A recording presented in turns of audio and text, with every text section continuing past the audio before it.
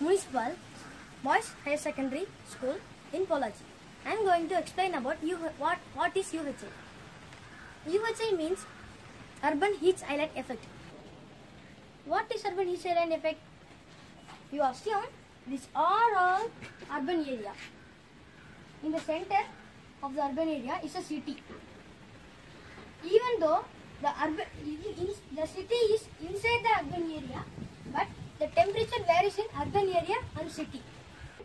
The temperature varies in urban area and city.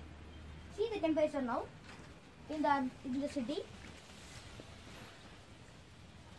The city is the temperature is 118.0. But in urban area we see the temperature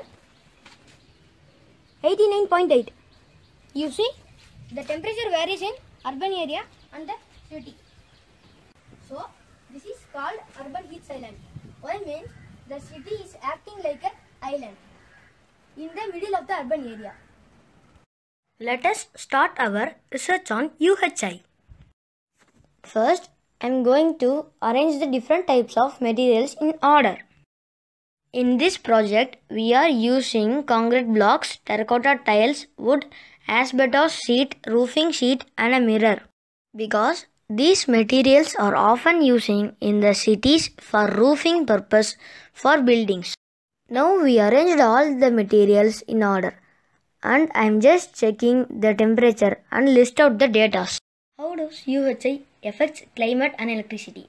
The UHI decreases air quality by increasing the production of pollutants such as ozone and decreases water quality as warmer waters flow into area streams and put stress on the ecosystem. Causes for global warming is starts from here. Not only in ecosystem, it will also increase the power consumption because if the temperature increase, people will automatically switch on their air conditioners, fridge and other power machines. Result, huge mega power will loss.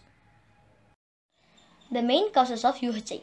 The main causes are changes in the land surface by urban development along with waste heat generated by